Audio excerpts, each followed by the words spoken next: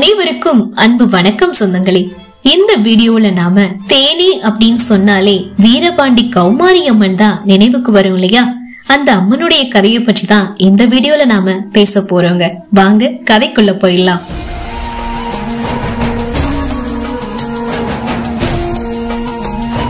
தேனி மாவட்டத்தில் உள்ள வீரபாண்டி அப்படின்ற ஊர்ல தான் கௌமாரியம்மன் கோவில் அமைஞ்சிருக்கு.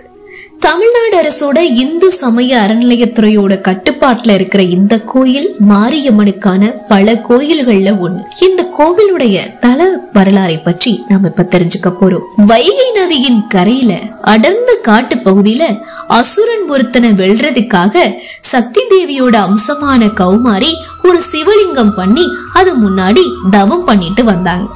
இது தெரிஞ்சுக்கிட்ட அசுரன் கௌமாரிய தூக்கிட்டு போக முயற்சிக்கிறான். இது தன்னோட ஞான திருஷ்டியால உணர்ந்துகிட்ட கௌமாரி பக்கத்துல இருந்த அருகம்புல்லை எடுத்து அவனை நோக்கி அப்படியே வீசுறாங்க. அந்த அருகம்புல் முக்களு படையா உருவெடுத்து அசுரனை ரெண்டா பிளந்து கொன்னுருச்சு.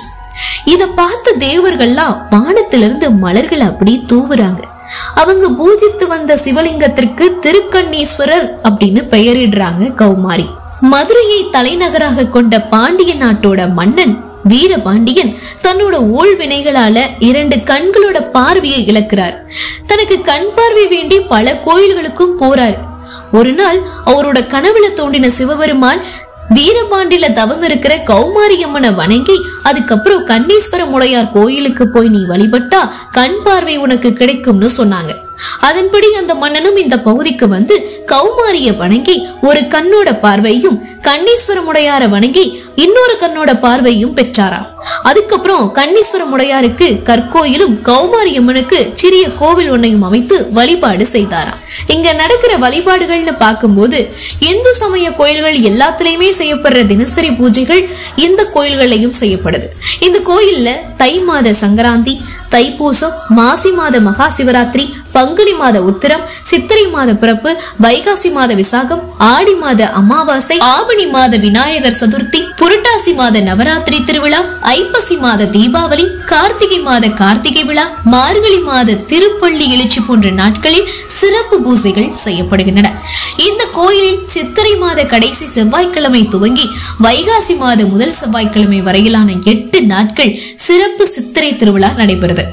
இந்த கோயில்ல சித்திரை திருவிழாப்ப மட்டும் இருபத்தி நாலு மணி நேரமும் கோயில்ல வழிபாடு நடத்தப்படுதுங்க. இந்த அம்மன் கிட்ட நேர்த்தி கடனா வேண்டிக்கிட்டவங்க அக்னி சட்டி எடுத்து காணிக்கை செலுத்துறாங்க. சிலர் நாக்குல அழகு குத்துறது அப்படின்ற சின்ன வேலை குத்திக்கிட்டு அக்னி சட்டி எடுக்கிறாங்க. சிலர் ஆயிரம் கண் பானை எடுத்து காணிக்கையா செலுத்துறாங்க. சிலர் உடல் முழுக்க முல்லையாற்றோட கரையில இருக்கிற சேத்த பூசிக்கிட்டு கோவிலுக்கு போய் வழிபாடு செய்யறாங்க சித்திரை திருவிழா அப்போ எல்லா பக்தர்களும் முல்லையாற்றிலிருந்து தீர்த்தம் எடுத்துட்டு போய் அம்மன் கோயில்ல இருக்கிற முக்கொம்புவிற்கு ஊத்திட்டு அதுக்கப்புறமா அம்மனை வழிபடுறத வழக்கமா வச்சிருக்காங்க. கோயிலுக்கு நேர்த்தி கடனா ஆடு கோழி இது எல்லாத்தையுமே பலியிட்டு அசைவ உணவு அன்னதானம் செய்யற வழக்கம் கடைபிடிக்கப்படுது. பொதுவா மாரியம்மன் கோயில்கள்ல ஆடு கோழி பலியிடப்படுறது இல்லை அப்படின்னாலும் இந்த அம்மனை அசைவ உணவு சாப்பிட்றவங்க தான் அதிகமா வணங்கிட்டு வராங்க அப்படின்றதுனால இந்த வழக்கம் காவல் தெய்வமா இருக்கிற கருப்புசாமியோட பெயர்ல கடைபிடிக்கப்படுது. ஆனா பலரும் மாரியம்மனுக்கு தான் பலியிடுற வழக்கத்தை நேர்த்திக்கடனா செஞ்சுட்டு வராங்க. சித்திரை திருவிழா அப்போ அம்மன் அன்ன வாகனம் சிம்ம வாகனம் காமதேனு வாகனம் கருட வாகனம் குதிரை வாகனம் இது எல்லாத்துலயுமே பக்தர்களுக்கு காட்சி அளிக்கிறாங்க. சித்திரை திருவிழால வெள்ளிக்கிழமை அன்னைக்கு பூவால அலங்கரிக்கப்பட்ட பூ பல்லக்குல ஊர்வலமா கொண்டு வரப்படுறாங்க. அன்னைக்கு இதை காண அதிக அளவுல மக்கள் கூடுறாங்கன்னே சொல்லலாம்.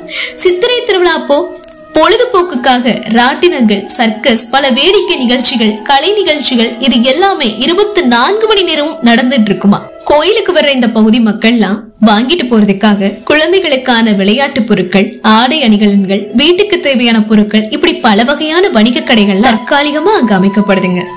தேனி மாவட்டத்துல நடைபெற முக்கியமான திருவிழா இந்த திருவிழா ஒண்ணு மட்டும்தான். இந்த திருவிழாக்கு தேனி மாவட்டம் மட்டும் இல்லாம தென் மாவட்டங்கள் எல்லாத்துலயுமே இருந்து மக்கள் வந்துட்டு போவாங்க. இதுக்காக தமிழ்நாடு அரசால தேனி மதுரை திண்டுக்கல் விருதுநகர் மாவட்டங்கள்ல இருந்து சிறப்பு பேருந்துகள்லாம் இயக்கப்படுது.